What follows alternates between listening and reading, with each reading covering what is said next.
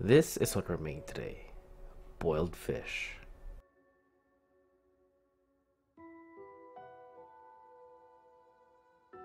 This is a tilapia. We're gonna fillet this. I had no access to black perch because that fish doesn't exist. There is such thing as yellow perch, but that's not sold anywhere near me, especially with what's going on around the world. If you have no access to tilapia, you could choose any white meaty fish, like cod, rockfish, or sea bream. I chose tilapia because this cost me 7 bucks. If I bought cod or sea bream, that would have cost me 25 plus. Anyways, back to the cooking. After we fillet it, we're gonna skin it. This knife I was using was actually pretty dull. I was having trouble cutting through the fish. This was definitely not my best filleting or skinning moment, hence the video editing. After skinning the fish, we're gonna cut it on a bias. This will maximize the surface area.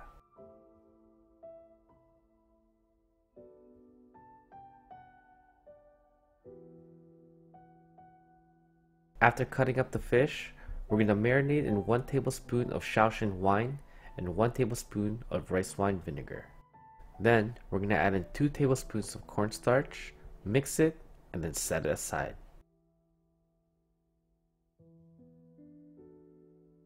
Next, we're going to cut off its head and the rest of its body. We're going to throw the rest of this fish in cold water and then simmer it for about 45 minutes. We're going to make a fish stock.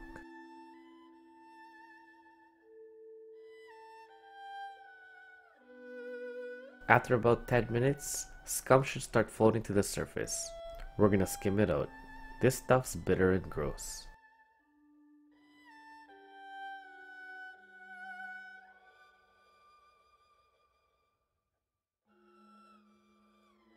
After 45 minutes, your stock should look like this.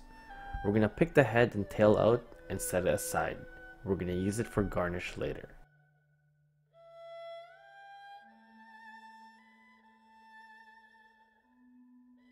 Now let's make a 5 spice. In my tiny little blender, we're going to add in 3 tablespoons of Sichuan peppercorns, a quarter cup of dried red chilies, a teaspoon of fennel seeds, 1 star anise, and a tablespoon of coriander seeds.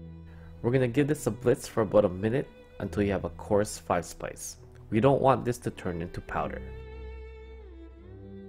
Before we start cooking, we're going to mince some garlic, slice up some ginger, Slice up the top of a green onion, the bottom on a bias, then slice up a celery on a bias as well. Now let's start cooking. First goes in the ginger. We're going to saute this for about a minute. Then in goes 3 cloves of garlic. We're going to saute this for another minute.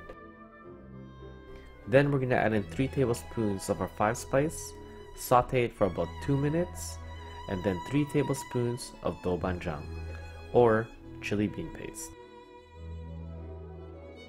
We're going to saute this for about 5 minutes, developing more flavor. Then we're going to add in 3 liters of our fish stock.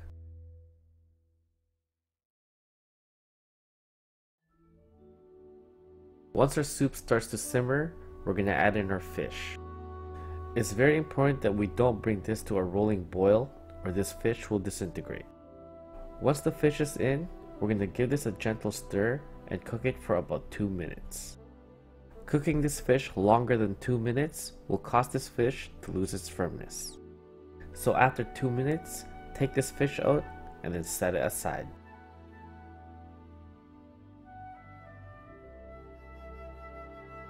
Now we're going to finish the soup. We're going to season it with salt to suit our taste then we're going to add in about half a cup of cornstarch slurry to slightly thicken this sauce. This will help the soup coat the fish. And for our final step, we're going to quickly saute some bean sprout, some green onions, and some celery. This will act as the basin for our soup. Just before it's fully cooked, we're going to start to plate.